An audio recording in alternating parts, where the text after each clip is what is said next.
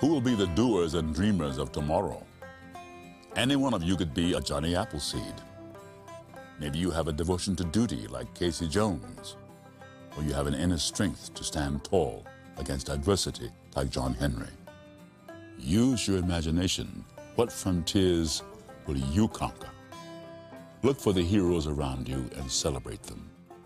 You can find them in the past, in the present, even in the mirror. Because you're the stuff that legends are made of.